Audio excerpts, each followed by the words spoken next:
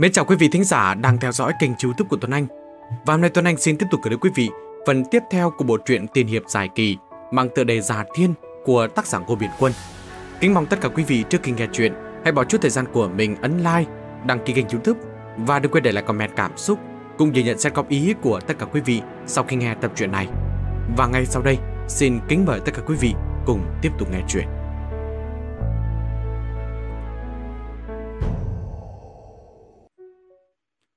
Lại nói lúc bây giờ, Khương Phong đã cảm thấy xương chân vỡ vụn ra rồi, không đứng thẳng được nữa, phịch một tiếng quỳ trên mặt đất. Đây là cảm giác thất bại khó có thể chịu đựng được. Hắn phẫn nộ tới phát cuồng cả lên. Hắn là tu sĩ thần kiều cảnh giới, nhưng thể chất lại không bằng một phạm nhân. Điều này làm cho hắn không tin tưởng được.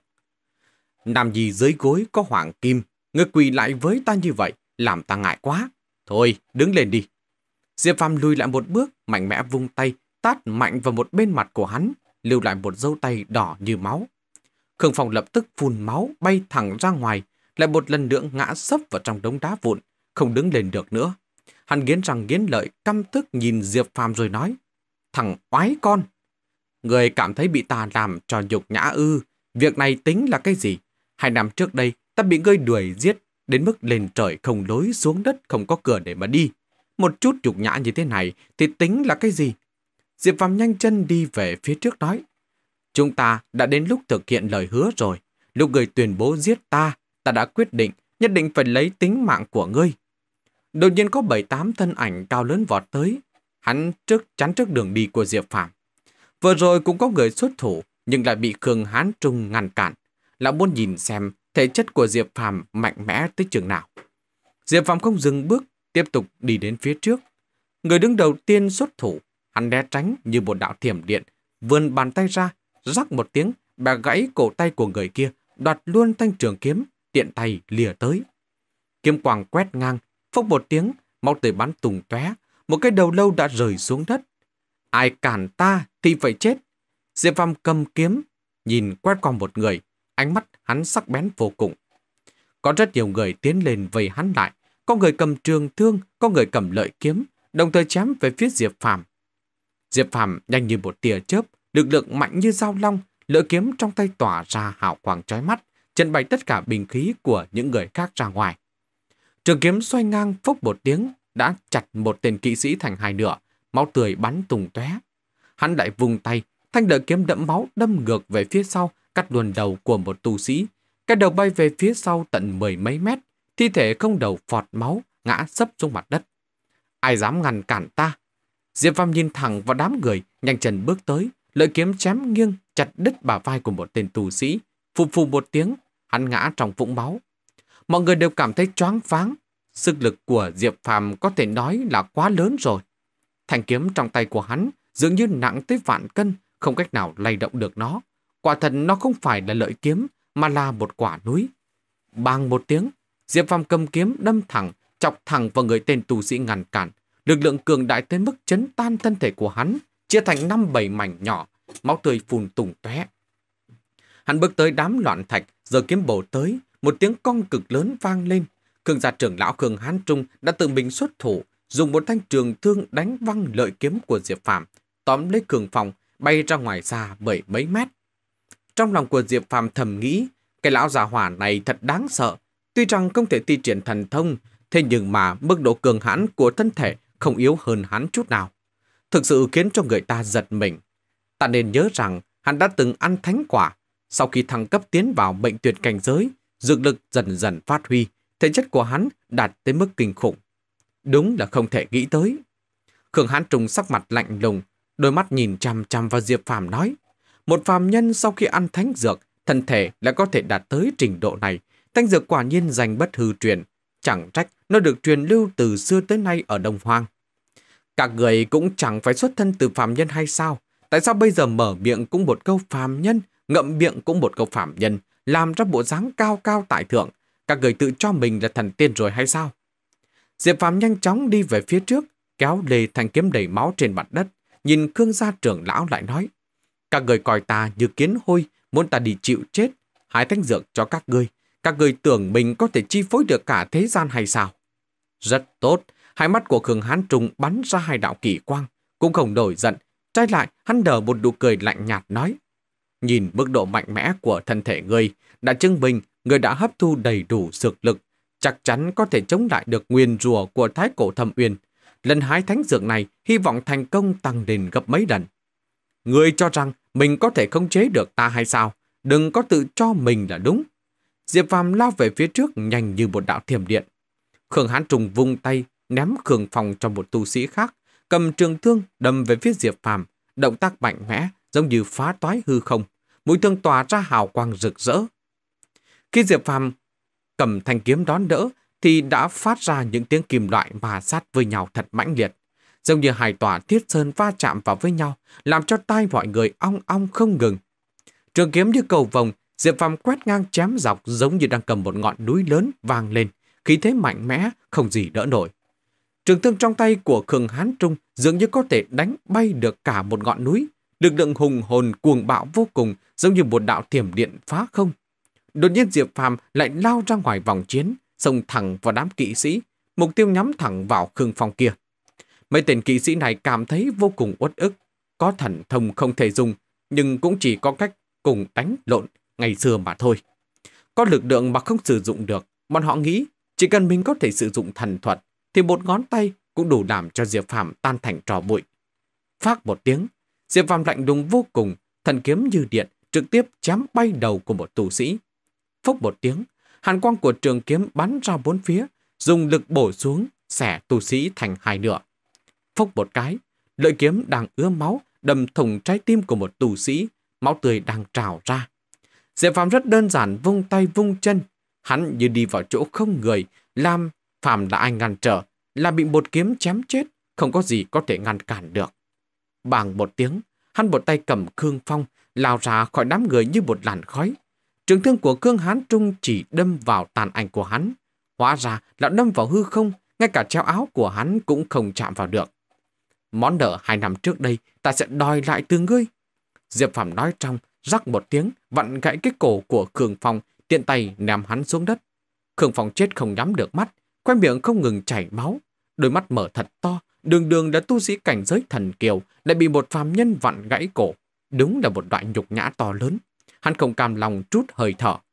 Đám người Lý Tiểu Mạn, Chu Nghị, Lâm Dài đều chấn động vô cùng, trong lòng nghi hoặc không rõ, tuyệt đối không ngờ rằng Diệp Phàm lại cường đại như vậy. Chính bọn họ cũng phải khiếp sợ. Và đúng lúc này, lão kỵ sĩ của Diều Quang Thánh Địa từ Đạo Lăng, cơ gia trưởng lão Cơ Vân Phong, cương gia trưởng lão Khương Hán Trung đồng thời áp sát về phía trước, vầy Diệp Phàm vào giữa. Diệp Phàm vô cùng bình tĩnh, thần tuyên của hắn cũng từ từ dâng trào. Nó không có khô kiệt, chỉ cần có một sát chiêu như vậy thì hắn còn phải sợ kẻ nào đây? Cơ gia trưởng lão cơ vân phòng thanh âm lạnh đùng nói. Thể phách mạnh mẽ như vậy đúng là rất hiếm. Nếu như bị chém chết ở chỗ này thì thật là đáng tiếc. Người nên lên núi đi. Nếu hái được thánh dược, chúng ta sẽ cho người được chết toàn thây, vui vui vẻ vẻ mà chết. Không cần phải đáng tiếc, xóa sạch thân thức của hắn, lưu lại thân thể, thì chúng ta có thể dùng trong một thời gian. Khương Hán trùng đờ nụ cười lạnh. Diệu quảng Thánh Địa, trưởng lão từ đạo lăng, lắc đầu nói. Đáng tiếc, loại thánh dược như vậy mà còn bị hắn ăn mất. Nếu như được chúng ta ăn vào, thực lực sẽ tăng mạnh vô cùng. Các người cho rằng có thể giết ta được hay sao? Diệp Phàm cười lạnh. Khương Hán Trùng lấy ra một cái hộp gấm, hứng hờ mở miệng nói. Kỳ thực không cần dùng sức, cũng có thể biến người thành tro bụi. Trái tim của Diệp Phàm đập mạnh một cái, hắn cảm giác được một cỗ khí tức nguy hiểm. Cái hộp vô cùng không bình thường kia, hắn âm thầm kêu may mắn, chưa thi triển sát chiêu, đây chính là con bài tẩy của hắn. Được, các người dọn hết các bộ xương này đi, ta lên núi hái thánh dược cho các người. Diệp Phàm suy nghĩ thật nhanh, hắn muốn mượn lực lượng của những người này vì hắn mà dọn dẹp những nguy hiểm trên núi, để cho hắn thật thuận tiện hay được thánh dược mà không gặp phải khó khăn gì. Trên ngọn Thánh Sơn nguy nga trầm hồn, trên đỉnh có cổ mộc che trời, kỳ thạch sừng sững, có thể dùng từ tráng lệ để mà diễn tả. Dưới chân núi, Diệp Phạm nhìn về phía Trương Hán Trung mà nói, ta chỉ có một điều kiện để cho sáu người bọn họ rời đi. Nói tới đây, hắn chỉ về hướng đám người Liễu Y Y, Trương Tử Lăng, Lâm Dài. Liêu Y Y và Trương Tử Lăng tỏ vẻ lo lắng ưu sầu, ra hiệu cho Diệp Phàm nhanh chóng thoát khỏi nơi này không thể dùng ngôn ngữ để biểu đạt, bởi vì xung quanh bọn họ toàn là kỵ sĩ. Chủ nghị, Lâm Dài, Vương Tử Văn không ngờ tới việc này. Diệp Phàm vào giờ phút như thế này lại nghĩ đến làm sao cho bọn họ rời đi trước. Lý Tiểu Mạn cũng ngẩn ra, nhìn về phía Diệp Phàm cách đó không xa. Bây giờ bọn họ đã không giúp được gì, lưu lại cũng vô dụng. Diệp Phàm nhìn chăm chú vào Khương Hán Trung, lại nói, người cũng chỉ lợi dụng bọn họ để thăm dò mấy khối xương trắng này mà thôi, không cần thiết phải hy sinh người vô tội. Người đúng là có tình có nghĩa, nhưng đáng tiếc người không có tư cách đặt điều kiện với chúng ta. Khương Hán trùng nhìn lướt qua mấy người phía sau, không nói thêm gì. Hiện nhiên hắn không muốn buồn thà mấy người này. Cách đó không xa, đám người Chu Nghị, Lý Tiểu Mạn, tất cả đều biến sắc mặt. Bọn họ đương nhiên có thể hiểu tầm tư của Khương gia trưởng lão. Hắn muốn giết người diệt khẩu, không muốn cho bọn họ rời đi. Diệp Phàm nhặt một khối đá nặng tầm mười mấy cân lên. Hắn lắc lắc trong tay mấy cái, rồi dùng sức ném mạnh về hướng chân núi. Điều này có thể tưởng tượng được lực lượng của hắn mạnh tới mức nào. Khối đá này bay theo một quỹ tích, bay thẳng từ dưới chân núi lên tới đỉnh núi, nên âm âm xuống đám bạch cốt. Người đang làm cái gì vậy? Cơ gia trưởng lão cơ vần phòng tức giận, sát khí tỏa ra rất dọa người. Các người không phải muốn thăm dò đống bạch cốt trên thánh sơn này hay sao? Ta trực tiếp thay các người xuất thủ, không cần phải dùng người sống nữa rồi. Diệu Quang Thánh Địa trưởng lão từ đạo lăng, sắc mặt nhất thời trầm xuống nói. Ai bảo người vọng động như vậy? Trường Hán Trung cũng là tỏa ra sát ý. Hắn nắm hộp gấm ở trong tay, quang bằng lấp lánh, trông như gỗ mà cũng không phải gỗ, trông như ngọc mà cũng chẳng phải ngọc, không rực rỡ, mang đầy nét cổ xưa. Nhưng mà nó lại chứa đựng một lực lượng khủng bố, đem lại cho người khác một cảm giác cực kỳ nguy hiểm. Diệp Phàm có một cảm giác nó giống như thiền địa một phương, không phải là một cái hộp có thể chứa đựng vạn vật hút được cả núi non mặt đất. Oanh một tiếng, đúng vào lúc này, trên thanh sơn chuyển tới tiếng động mãnh liệt, dường như có vật gì đó bị chọc giận, vô số núi đá lăn xuống, làm cho tất cả cây cối bị gãy nát. Những đám bạch cốt này đang xuống núi sao? Rất nhiều kỵ sĩ kêu lên sợ hãi, chỉ thấy trên thánh sơn có hàng hà xa số bạch cốt đang đi xuống. Tốc độ cũng không nhanh, nhưng mà nó trắng xóa một màu, làm cho ra đầu mọi người tê dại. Đây là chuyện tốt mà người làm ra đấy. Khương Hán Trung tức giận, nhìn chăm chăm vào Diệp Phàm, sát khí không chút nào che giấu, lần nữa tỏa ra nồng nặc. Có phải người đang mong muốn loại kết quả này không? Bây giờ phải nhanh chóng quyết định, bỏ đi hay là tiếp tục lấy thánh dược. Diệu Quang thánh địa trưởng lão từ đạo lăng, sắc mặt rất khó coi. Cơ gia trưởng lão cơ vân phòng thân sắc ngừng trọng rồi nói, bây giờ không cần thiết phải giấu giếm nữa, nhanh chóng sử dụng cấm khí, mạnh mẽ mở đường, nhất định phải leo lên được thánh sơn, hái được thánh dược. Khương gia trưởng lão sắc mặt tái nhợt, hùng hăng trợn mắt, liếc nhìn Diệp Phàm nâng hộp cấm trong tay lên nói.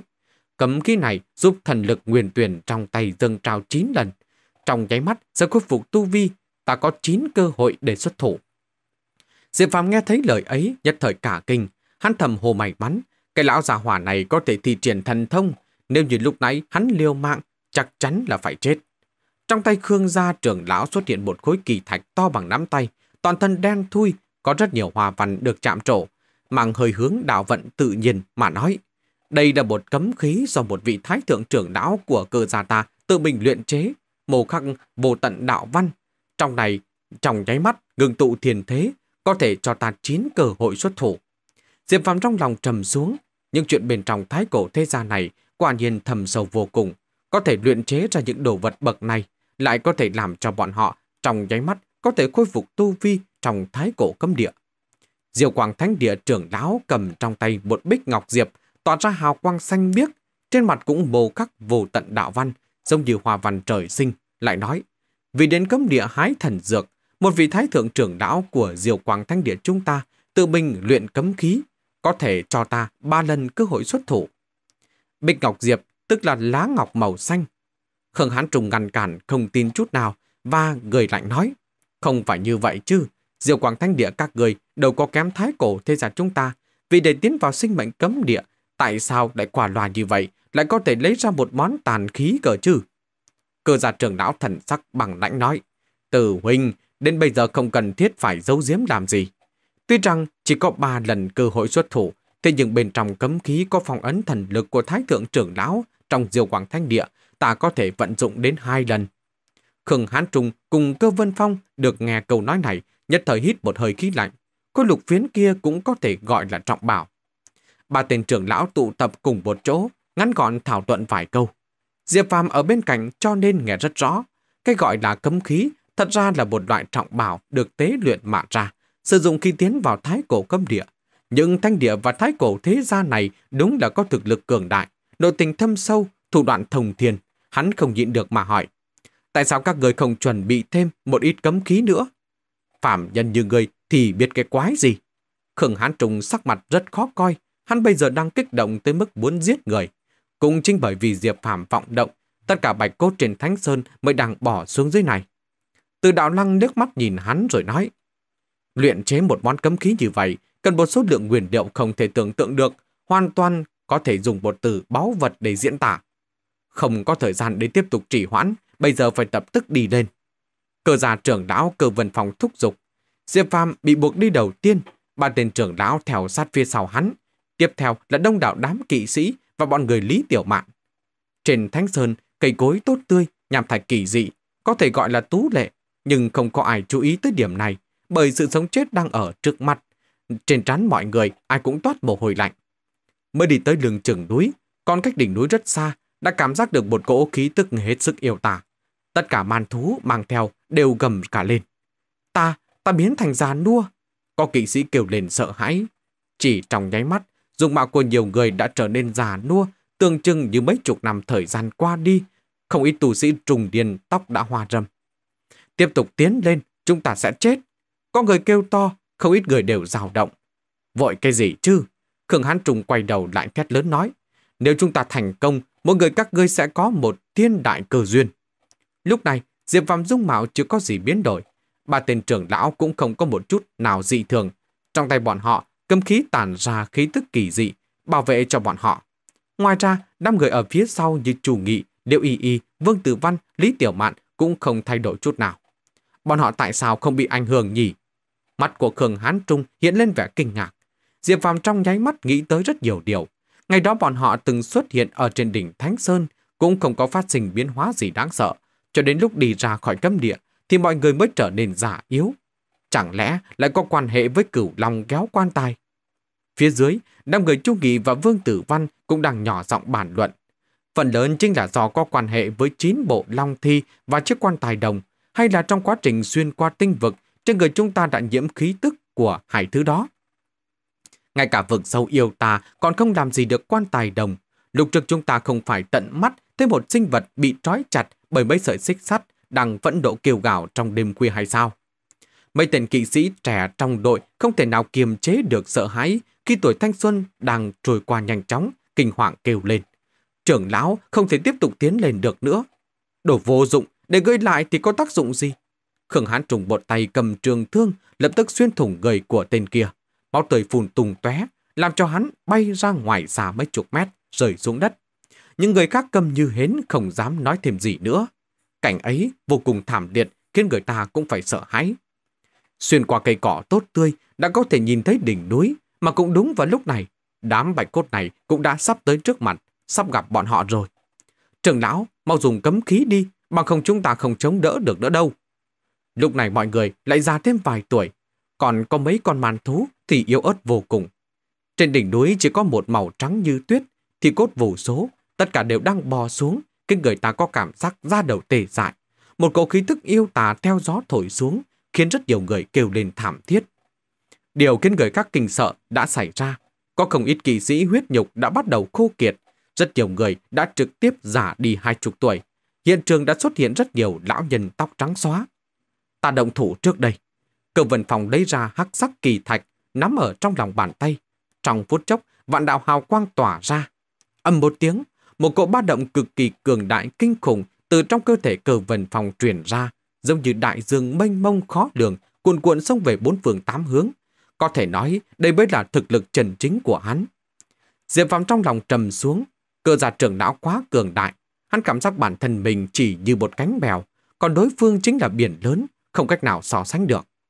Đây chính là thực lực trần chính của hắn hay sao? Nếu như chạm mặt nhau trong tình huống bình thường, thì Diệp Huynh chắc chắn phải chết. Thực lực của hai người cách xa nhau một trời một vực. Đối phương chỉ tùy tiện giơ tay, hắn đã biến thành bột mịn rồi. Một cột thiên đa tán từ trong cơ thể cơ vân phong truyền ra, tạo nên từng trận cuồng phong, đem cây rừng và núi đá chấn thành trò bụi.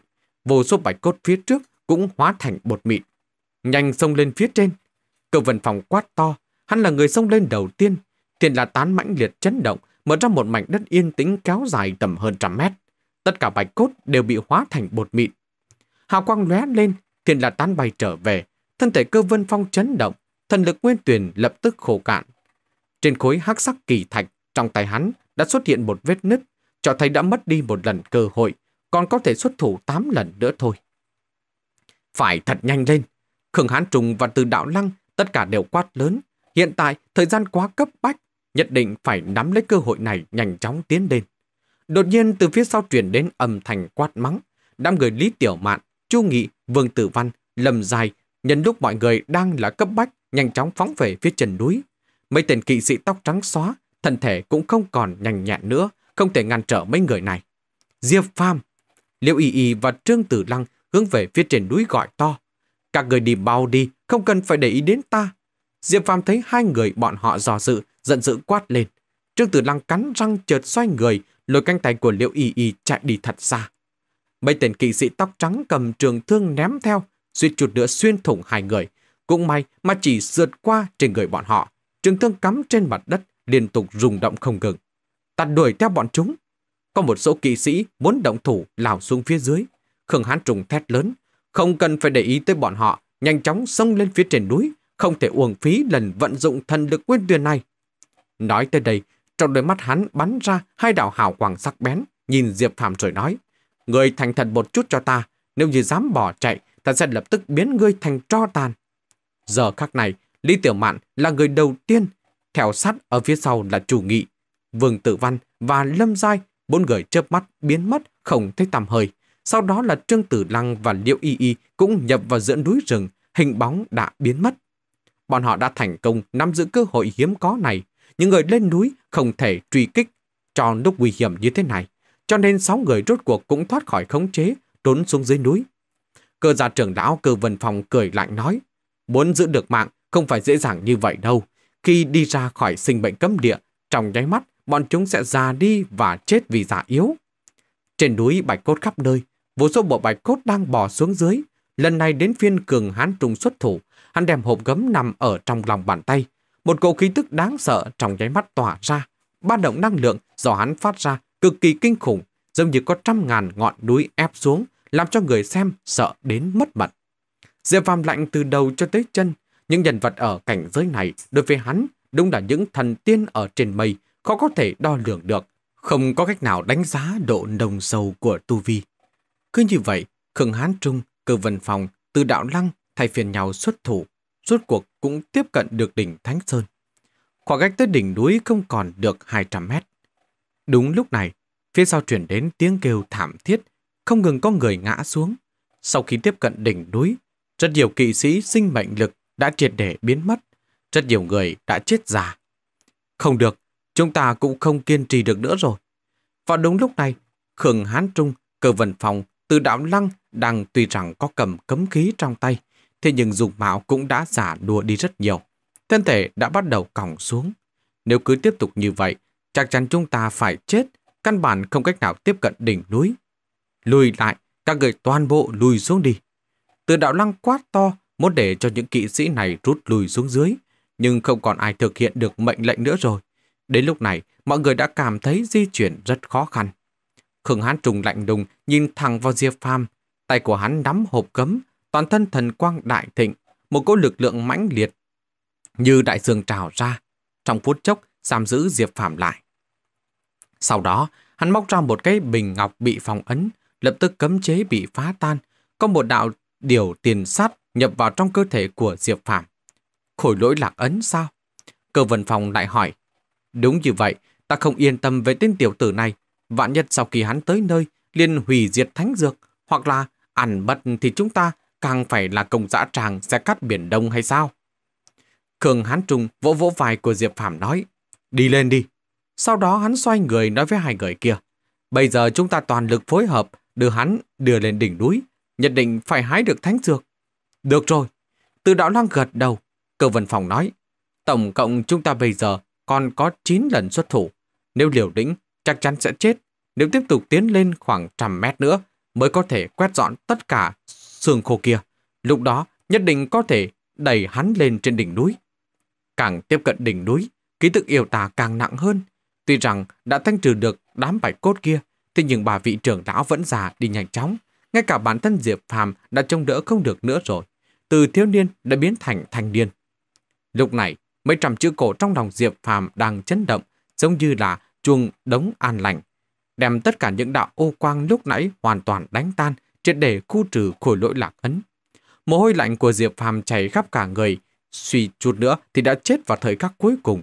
Khương gia trưởng lão quá thâm độc, không có dấu hiệu gì đã xuất thủ, mà có thì lúc đó hắn cũng không có năng lực để phản ứng. Hiện tại hắn giả bộ bị khống chế, ba người này nói cái gì hắn nghe cái nấy, nhanh chân đi về hướng đỉnh núi. Đeo cái này vào. Từ đạo lăng ném tới một cái ngọc tịnh bình, lại nói, cái bình này có thể chứa được cả một ngọn núi lớn, bên trong nó có không gian, sau khi hái được thánh dược thì dùng nó để thu thần tuyền vào. Sau khi các đỉnh núi còn mấy trăm mét, thì ba vị trưởng lão đã dọn xong hết tất cả xương khô, lúc này mới dừng bước, tiến tới dược chỗ này thì là bọn họ lúc nào cũng có thể biến thành trò bụi. Diệp Phàm cảm giác được tính mạng của mình đang trôi qua. Khi hắn leo tới đỉnh núi, thì tóc của hắn đã bạc như tuyết, bộ dáng già nua vô cùng. Đây là sao? Đúng vào lúc này, thần sắc của hắn cứng đờ. Trên thánh sơn đang có một nữ tử phong hoa tuyệt đại đang đứng, bỗng nhiên xoay người nhìn về phía hắn. Trong ánh mắt mang theo sự hờn dỗi. Nữ tử này có chiếc cổ nhỏ tú lệ, như hoa sen mới hé nở, thành lệ tuyệt thế, nàng đang đứng trên vách núi. Nếu như chỉ bước ra nửa bước chân, sẽ rời xuống vực sâu vô tận. Bạch y trên thân của nàng tung bay theo gió, giống như nghiễm hàn tiền tử siêu phàm thoát tục. Cho dù Diệp Phàm muốn tìm ra một điểm tỉ vết trên người của nàng cũng không thể tìm được. Nữ tử mỹ lệ này không giống như người trên đời, làm cho người ta có cảm giác như đang ở trong mộng. Nàng tập hợp trí tuệ của đất trời đã đoạn tuyệt khí tức phàm tục, bằng cơ ngọc cốt gần như hoàn mỹ. Khi hắn nhìn thấy nữ tử, nếu chỉ nói riêng về dung mạo thì chỉ có một người có thể so sánh, đó chính là nữ tử hoàn mỹ mà hắn đã được gặp ở phần mộ yêu đế. Ở nơi tuyệt địa như thế này, tại sao lại có một nữ tử phòng hòa tuyệt thế như vậy? Trong lòng của Diệp Phàm trở nên cảnh giác, hắn lùi về phía sau mấy bước. Hắn nằm giữ thái cổ thánh thể. Lúc này, hắn đã già yếu vô cùng, nhưng cô gái kia lại không hề có biến hóa, không hề bị thái cổ thánh thể ảnh hưởng. Đúng là không thể tưởng tượng ra được lai lịch của nàng ta. Người đúng, đứng đó làm gì? Còn không mau chóng, đến hái thánh dược đi. Khương Hán Trùng ở phía dưới hét lớn. Ba người ở bên dưới tuy có thể nhìn thấy Diệp Phàm, nhưng lại không cách nào nhìn thấy nữ tử ở vách núi. Trên vách núi, khí tức yêu tà đang cuồn cuộn dâng trào. Nữ tử như đang bước ra từ trong bức tranh, thướt tha yểu điệu. Cọt sen bước đến, đúng là đang đi về phía Diệp Phạm. Không xong rồi. Diệp Phạm cảm thấy sự biến đổi trong cơ thể mình nhanh hơn. Khí tức yêu tà đập thẳng vào mặt hắn. Hắn nhanh chóng lùi về phía sau. Nữ tử này tuyệt đối không đơn giản, đúng là vô cùng kinh khủng. Nàng sở hữu lực lượng đặc biệt của thái cổ thâm uyên, làm cho Diệp Phàm không thể nào chịu đựng được. Nếu như không phải kim sắc khổ hải không khô kiệt, lúc này đang dâng sóng lớn ngập trời, dùng hết khả năng để chống đỡ, chỉ sợ hắn đã chết vì giả, hóa thành trò bụi. Đây không phải hoang trong truyền thuyết đó chứ. Trong lòng Diệp Phàm khiếp sợ, hắn từ lâu nghe nói, dưới vực sâu thái cổ có một sinh vật tù vì sâu không thể dò.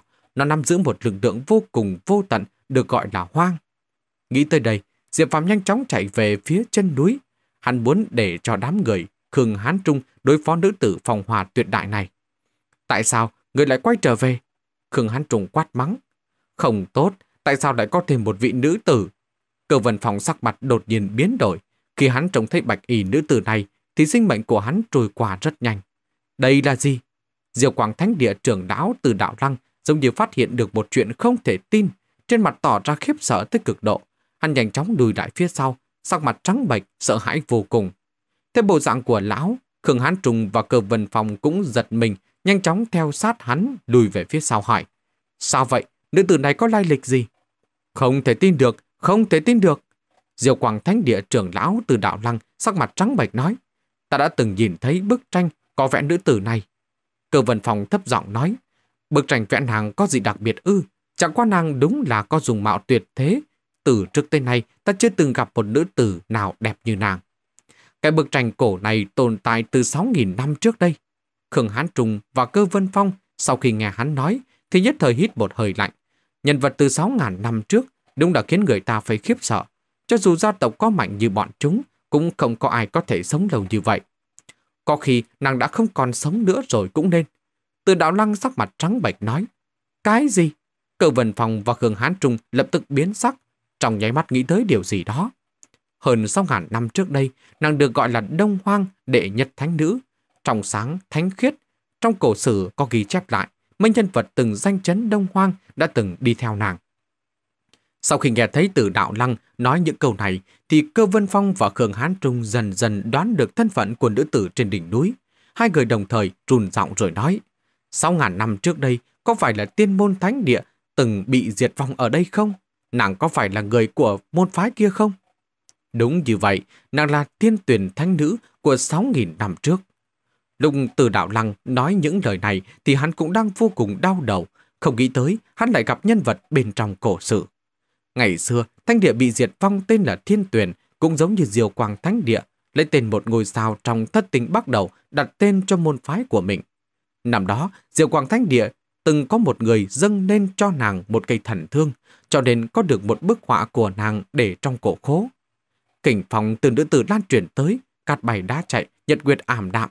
Âm một tiếng, cô gái kia nhẹ nhàng nhấn một ngón tay, bầu trời bị xuyên thủng một ô lớn hình vuông, hào quang lấp lánh đồng thời chụp xuống. Cơ vân phòng sắc mặt tái nhợt, không hề có chút máu nào cả. Thân thể giả nua lập tức lùi lại phía sau, ngã bệt xuống mặt đất. Tử huynh, mau vận dụng cấm khí đi, Bên trong nó chẳng phải phong ấn lực lượng của Thái Thượng trưởng lão hay sao? Nó có thể vận dụng hai lần, chắc chắn có khả năng đối kháng với nàng. Cơ vận phòng lo lắng thúc giục.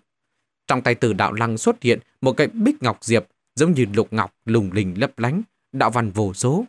Hai tay của lão kẹp lấy phiến đá, lập tức thần hà đầy trời, hóa thành quang mang xanh biếc, lập tức bao phủ cả ngọn núi. Thiên tuyển thanh nữ cũng bị bao phủ trong đó. Loại năng lượng này mạnh mẽ tới mức không gì có thể so sánh được, giống như vô vàn tình tú xả xuống, hóa thành những đám mây xanh. Thiên địa đang run rẩy, thời gian kéo dài khoảng nửa khắc đồng hồ, những đám mây xanh mới dần dần tản đi.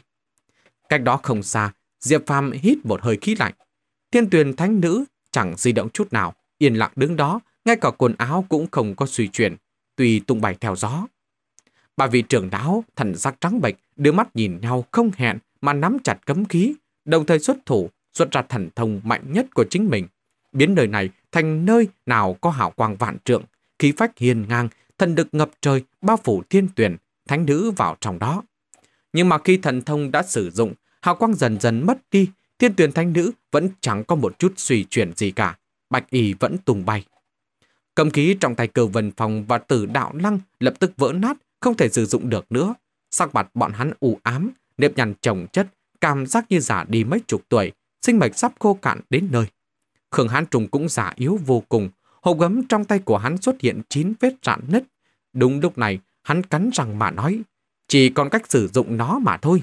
Hộp gấm vỡ vụn, trong tay hắn đã xuất hiện một cái cổ tháp, dài không quá bàn tay, trông có vẻ rất ảm đạm, trong bình thường không có gì lạ lẫm cả. Thế nhưng, đột nhiên có một cỗ uy áp đáng sợ chấn động không gian so với bà động khi nãy còn mạnh hơn nhiều. Nó phảng phất như là một thế giới mà không phải là một cái tiểu tháp, nó có thể bao dung tiên địa, thu nạp sơn xuyên địa mạch. Đây là gì? Trong đôi mắt giả đùa của từ đạo lăng bắn ra hai đạo kỳ quang, run giọng nói. Theo truyền thuyết, Khương gia phòng chế trí bảo của đồng hoàng nhân tộc, Hoàng Tháp, chẳng lẽ các người đã thành công rồi ư? Không có khả năng thành công được, Hoàng tháp độc nhất vô nhị, cùng tồn tại với thế gian, không thể phục chế. Đây chỉ xem như là một món hàng thứ phẩm mà thôi. Khương Hán Trùng không có động tác gì. Hoàng Tháp phòng chế đã phóng lên cao, nhanh chóng phóng to ra, đè xuống tiên tuyển thánh nữ. Thứ phẩm, tức là hàng nhái, hàng đậm. Việc này, cờ vần phòng hít một hơi khí lạnh, lại nói, chỉ là tàn phẩm phòng chế thôi, vậy mà đã có ủy lực lớn tới như vậy. Nếu như không bị thái cổ cấm địa kiềm chế, không biết ủy lực của nó sẽ lớn tới mức nào. Khương Hán Trung lắc đầu nói, đáng tiếc là nó chỉ có thể dùng được một đòn, hy vọng có thể trấn áp được nàng ta. Chúng ta còn có một chút thời gian, sau khi hoang tháp phòng chế đẻ xuống, thiền địa sẽ vỡ nát, thần tháp cổ phát tự nhiên, đạo vận lưu chuyển sẽ ngừng tụ thành thiền địa đại thế. Thiên tuyển thanh nữ nhanh chóng rút lui, nàng không dám đối đầu với nó. Thế nhưng hoàng tháp lại như bóng với hình, cuối cùng trấn áp nàng ở bên dưới. Âm âm một tiếng vang lớn, thánh sơn lay động, hoàng tháp phòng chế nhanh chóng thu nhỏ lại, hóa thành một cái tiểu tháp to bằng bàn tay, nhanh chóng rời xuống mặt đất. Hay lắm! Từ đạo lăng quát to lại nói, hoàng tháp quả nhiên danh bất hư truyền, chỉ là tan phẩm phòng chế thôi mà đã có ủy lực lớn như vậy. Ở trong cấm địa rồi mà vẫn có khả năng tự chủ, trấn áp địch nhân, không bị trói buộc.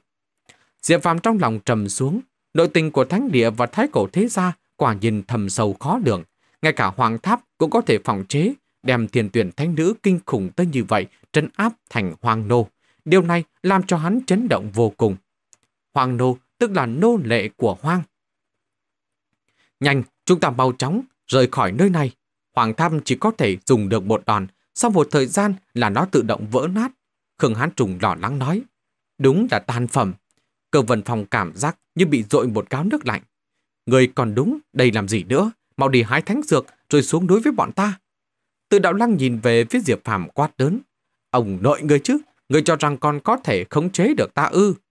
Người... Bà vị trưởng lão tất cả đều biến sắc mặt, không nghĩ tới khôi lỗi lạc ấn lại không có tạo tác dụng. Oanh một tiếng. Đúng lúc này, hoàng tháp phòng chế vỡ tan, tiên tuyển thánh nữ lại xuất hiện. Xong đời. Khương hắn trùng cười thảm. Cũng đúng trong thời khắc đó, sinh bệnh hắn lập tức khô cạn, biến thành tro bụi bay theo gió. Tiếp theo là cơ vân phong và tử đạo đăng cũng biến thành trò bụi, giống như mấy vạn năm đã trải qua. Cùng một thời gian đó, tất cả các kỵ sĩ và man thú suy yếu ở dưới trần Thánh Sơn, sinh mệnh cũng lập tức khô cạn, biến thành trò tàn. Diệp Phạm tâm thần chấn động, cơ thể nhanh chóng biến chất, kim sắc khổ hải sóng lớn ngập trời, thần tuyên cuồn cuộn chảy, sinh bệnh tinh khí không ngừng trào ra, ngăn cản sự tử vong của hắn. Thái cổ cấm địa sẽ trở thành nơi chôn thầy của ta hay sao? Diệp Phạm có cảm giác suy yếu vô cùng, hắn nhanh chóng sông lên Thánh Sơn. Bây giờ chỉ có thánh dược mới có thể cứu được hắn. Hắn vừa sông lên đỉnh núi, đã phát hiện thiên tuyển thánh nữ đứng chặn đường của hắn. Bạch y của nàng tung bay, đôi mắt trong suốt như nước, trông rất thông linh, thông minh, giống như là có sinh mệnh.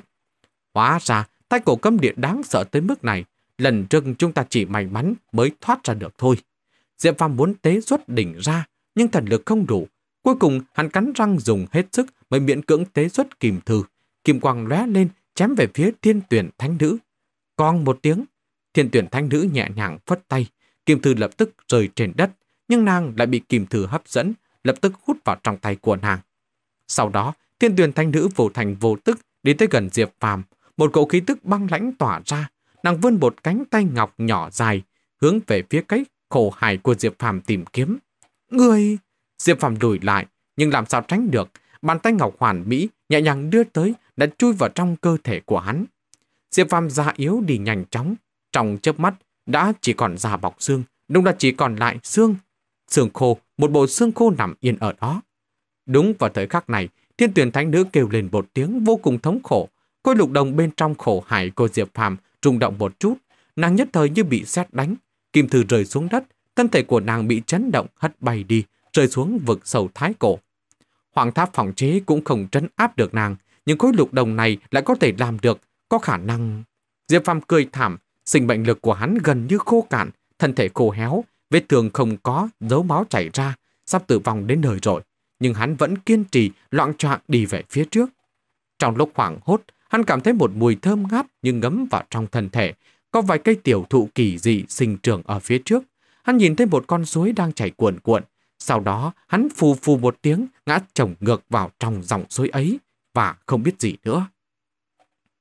Ở nơi sâu xa nhất của sinh mệnh cấm địa, chín tòa thánh sơn nối liền với nhau một chỗ, tạo thành một cái vực sâu khổng lồ, đen ngòm không có phần cuối. Lúc này, ở một tòa giữa nguy nga trầm hồn, yên tĩnh lặng lẽ, cây cỏ tốt tươi, sinh cơ phồn thịnh. Ở khu vực trung tâm của đỉnh núi bằng phẳng, có một hồ nước chừng hai thước vuông đang chảy cuộn cuộn, vạn đào hào quang lấp lánh giống như đang chưa đựng thần dịch. Bên trong ao nước có một người đang nằm, nhưng trông giống như một bộ xác khô thỉ hơn. Huyết nhục khô quắt, da rẻ xám ngắt, gần như khô nứt, chỉ còn lại già với xương. Ta không có chết. Khi Diệp Phàm tiến vào trong ao nước, chớp mắt liền tỉnh lại. Trong nước suối có chứa sinh bệnh tình khí rất nồng đậm, làm cho thân thể của hắn liên tục biến đổi. Sinh bệnh lực của hắn gần như khô cạn, gỗ tặng lục phủ cũng khô héo, huyết dục lại càng giống như xác khô đã mấy trăm năm rồi. Lúc này ngâm ở trong hồ nước, bắt đầu thu nạp sinh bệnh tinh khí có ở trong nước, giống như một sa mạc hạn hán lâu ngày, nay được cam lộ tưới tắm. Diệp Phàm nằm ngửa trong cái hồ nước chừng hai thước vuông, hắn có cảm giác yết hầu mình khô nứt đến nơi rồi. Môi của hắn chỉ còn một lớp da mỏng. Hắn khó khăn nghiêng đầu, đau đớn uống từng ngụm nước vào người. Nước suối rất ngọt, mang theo những mùi hương thơm thẩm thấu vào làn da nứt nẻ, vào cái môi khô quắt và yếu dần đang đau nhức của Diệp Phạm như quỳnh tường ngọc dịch, khiến người ta cảm thấy dư vị của nó vô cùng. Trong cơ thể của hắn dần dần tụ tập một loại lực lượng.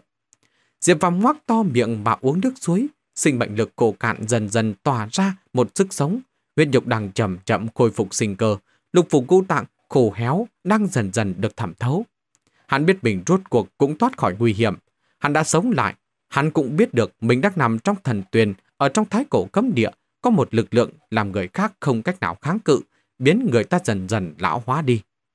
Qua đi tới nửa khắc đồng hồ, hắn không biết mình đã uống bao nhiêu nước suối, bụng đã no căng, thực sự không cách nào uống thêm được nữa cả. Diệp Phàm nằm ngửa ở trong ao nước, không nhúc nhích chút nào cả. Hắn ngắm nhìn bầu trời trong vắt, hắn thở dài một hơi, sống sót sau tai nạn, sinh cơ chậm rãi khôi phục, làm hắn như trút được gánh nặng. Hắn cứ nằm như vậy khoảng nửa canh giờ, khi cảm thấy sinh cơ khôi phục tương đối mạnh mẽ. Lúc này, hắn mới cử động cánh tay khô gầy yếu, huyết nhục cũng đã phồng lên không ít, sinh bệnh sức sống không ngừng khôi phục, tiếng tim đập ngày một rõ lên. Cho đến lúc này, ngũ giác của hắn mới bắt đầu dần khôi phục, thân thể có cảm giác vô cùng thư thái. Được ngầm trong thần tuyển, một lượng lớn sinh bệnh tinh khí đang theo những lỗ trần lông chảy vào tứ chi bách hải. Còn sống thật là tốt. Trên mặt của Diệp Phàm hiện lên vẻ thích thú. Trước đây không lâu, khi khí tức sinh bệnh gần tắt đi, hắn cảm thấy sống sót chính là đặc ân mà trời cao ban cho hắn. Con người trong lúc an nhàn thì sẽ không biết thế nào là thỏa mãn, chỉ có đến đời sơn cùng thủy tận, trải qua cảm giác tuyệt vọng vô cùng. Lúc đó mới hiểu được cuộc sống đơn giản, bình thản cũng chính là một loại hạnh phúc. Diệp Phàm nằm ngửa dưới thần tuyền, ngửa mặt nhìn lên bầu trời, trên mặt nở nụ cười, chậm rãi khôi phục sinh mệnh lực. Huyết nhục và phủ tạng ngày càng được thẩm thấu, tiếng mạch đập cũng mạnh dần lên, sát dần dần tỏa ra hào quang, một chút ánh sáng lấp lánh. Diệp Phàm rốt cuộc cũng có một lực lượng mạnh mẽ. Hắn cảm giác mình không biết mệt mỏi, liền chuyển thân mình ngồi dậy. Cũng trong lúc này, khi hắn hoàn toàn khôi phục lực lượng, hắn cảm thấy được mùi thơm nồng đậm. Hương thơm đó có thể khiến cho người ta thần thành khí sảng. Đối diện với hồ nước, chừng 2 mét vuông này có 11 tiểu thụ đều cao hơn nửa mét, hào quang xanh biếc nhấp nháy giống như được điều khắc bằng ngọc bích, lấp lánh quang hoa xanh tươi phồn thịnh. Trông chúng như cây thông, là cây rạng kim kết thành từng bó, giống như đã được điêu khắc từ lục ngọc thần tủy, tỏa ra quang màng lấp lánh. Diệp Phạm từ lâu đã không còn phải là người thường. Sau khi tu luyện, linh giác của hắn nhạy cảm vô cùng, đương nhiên có thể nhìn thấu những sự việc trước đây mình không biết. 11 cây tiểu thụ này tuy rằng rất thấp, thế nhưng cành lá lại cứng cáp mạnh mẽ, uốn lượn mở rộng giống như cầu long. Chúng nó phảng phất đã sinh trưởng ở đây mấy chục vạn năm rồi, đã tồn tại qua vô tận năm tháng, làm cho người ta cảm giác có một lực lượng cổ xưa tới kỳ dị, không phải cây cối mà trông như hóa thạch. Trên đỉnh mỗi tiểu thụ đều có một trái cây màu vàng, kim quang lấp lánh, có độ lớn bằng quả nhãn, óng ánh trong suốt, giống như được đúc thành từ hoàng kim, đúng là bất phàm. Thân cây như ngọc bích, kết thành trái cây màu vàng, hai thứ này đan xen với nhau trông vô cùng đẹp mắt, hương thơm đàn tỏa khiến người ta không khỏi say mê. Mất bằng nhiều sức lực, thiên tần vạn khổ mới có thể tiến vào được thái cổ cấm địa, cũng chính là vị thánh dược này. Diệp Phàm rất kích động, nhìn 11 cây tiểu thụ kết thành một trái cây màu vàng. Bây giờ hắn cảm thấy tất cả đều đáng giá. Thánh địa và thái cổ thế gia mưu tính trong thời gian rất lâu, trước sau hai lần phá cường giả, tiêu hào vô số tận tầm huyết, tế luyện ra cấm khí, thậm chí đem cả hoang tháp phòng chế mang vào. Nhưng kết quả lại biến thành tro bụi, tất cả siêu cấp cường giả đều chết đi. Mấy cái thế lực siêu nhiên này không thu hoạch được gì cả. Mà giờ các này, Diệp Phàm lại ngồi trong thần tuyền, thanh dược gần trong căng tấc, có được một cách dễ dàng, hắn làm sao không kích động được cơ chứ? Nghe thấy tiếng ảo ảo, Diệp Phàm đứng dậy cất bước đi trong thần tuyền, đến gần một tiểu thụ, hai một trái cây màu vàng, hương thơm đồng đậm chui cả vào lục phủ ngũ tạng của hắn, làm cho hắn cảm thấy thần thành khí sảng, linh hồn cảm giác như bay ra khỏi cơ thể mất rồi. Quả nhiên là thánh dược, Không biết vì sao nó chỉ sinh trưởng trên thái cổ thâm uyên yêu ta này. Diệp Phàm đem trái cây màu vàng kim đưa vào trong miệng, khẽ khẽ nhai. Mùi vị rất ngọt, hương khí thơm ngát, biến thành một loại vật chất hữu hình làm cho toàn bộ lỗ trần lồng trên người hắn giãn ra, cả người thư thái giống như đang chìm đắm trong gió xuân. Trái cây màu vàng kim sau khi bị cắn nát hóa thành quỳnh tương ngọc dịch, theo cổ họng của hắn trôi xuống dưới. Diệp Phàm có cảm giác giống như là muốn phi thăng thành tiên, lại có cảm giác như mình đã rời khỏi mặt đất, lại cảm giác sùng sướng đề mê. Này hắn đã là một tù sĩ, không dám coi thường dược lực của hoa quả này như trước đây nữa. Nhanh chóng ngồi xuống, lưng dựa vào cái cây tiểu thụ cứng cáp, bắt đầu vận chuyển huyền pháp do đạo kinh ghi chép. Kính thưa tất cả quý vị khán thính giả, câu chuyện này tiếp tục diễn biến như thế nào? Xin kính mời tất cả quý vị cùng tiếp tục theo dõi ở những video tiếp theo.